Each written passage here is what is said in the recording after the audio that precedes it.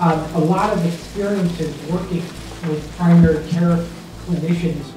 We have a public health crisis of pain management in the United States. This conference is directly addressing that problem, hoping to get um, the information that primary care clinicians need to improve the standards of pain management on the front lines of primary care. Has there been good description as to why SNRIs work for pain?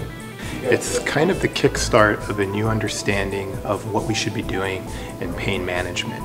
Our mission at the University of California is really shepherding or ushering knowledge about medicine throughout the state. We started that by developing a telementoring program to teach primary care doctors all about pain management. That if you're going to treat pain with an opioid, you need to understand it.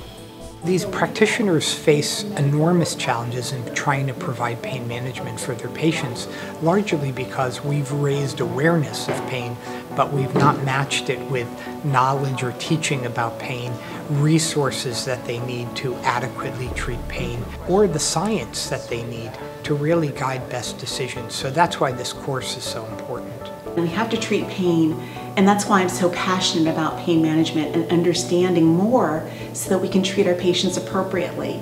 Not overtreat them, but not undertreat them either. Reflection is a very therapeutic tool for patients.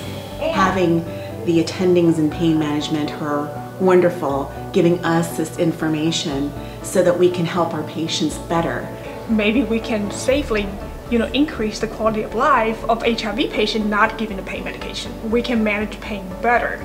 You know that was my driving point to come over here and learn more about pain on top of hiv So I came to get an overview of how pain is now being treated so that I can actually start talking to my patients and getting them more informed on exactly what methods are available for them to use for pain management in place of the opiates. The ones that come in that, that have been on opioids for a very long time, it's very hard to get them off.